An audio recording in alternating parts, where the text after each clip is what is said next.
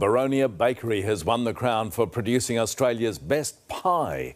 Victoria is also the home of the nation's best pasty, created at Curnow in Gippsland. Alan Rascal took a taste test. Everyone wants a piece of the pie. We want our piece of the pie right here, right now.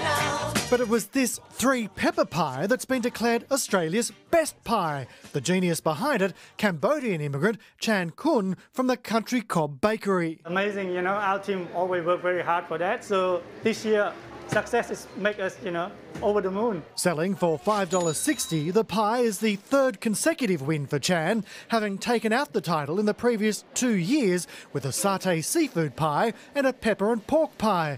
Customers can't get enough. Love the pies and the sausage rolls. They're really crispy, the pastry and the meat's beautiful. Love them. And vegetable pasties too. The crown was awarded by the Baking Association of Australia, judges tasting more than 1,900 entries.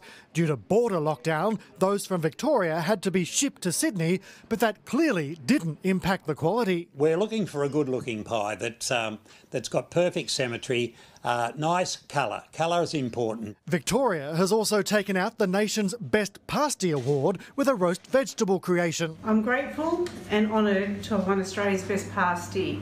I've put my heart and soul into creating this recipe. Now, you can't do a yarn about a baking competition without a taste test, and the only way to judge the best pie is to stick one in your pie hole.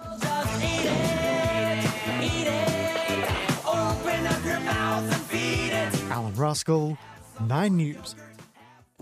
Now, returning with sport, Tony Jones. You'll have to get pie-eyed tonight just to erase that image, Pete.